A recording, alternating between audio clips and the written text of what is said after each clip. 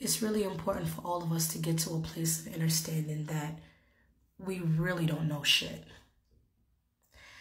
The knowledge that we think that we have, that we think that we've mastered, or we walk around arrogantly um, claiming to master, is babies, baby stuff.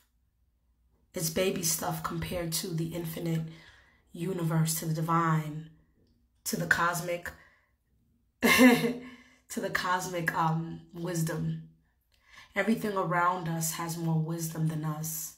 From the animals to the trees, the plants, they're way more insightful and wise than we are.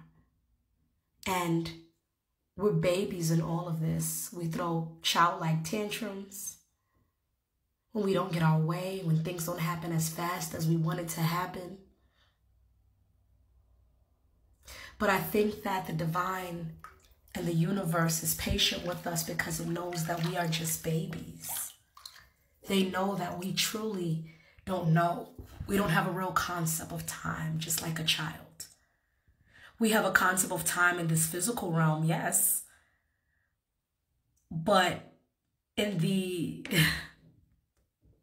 in the spiritual realm, we don't have a real fucking concept of time.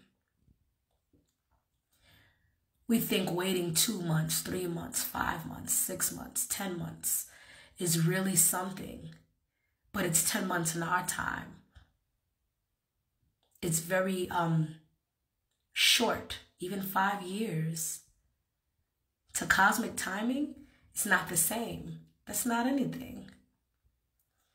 And so we have to get to a, a, a space of acceptance that we really don't know shit. The ones who consider themselves enlightened or woke, your knowledge is baby knowledge. You really don't know shit.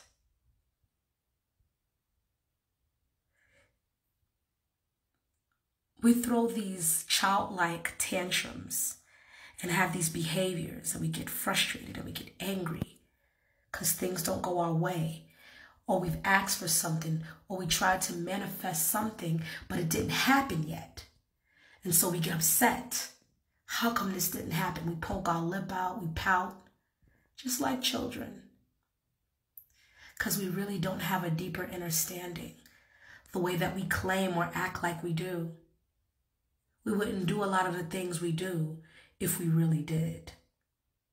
All right, this is Asmaaa the Alchemist, just sending that message. Peace.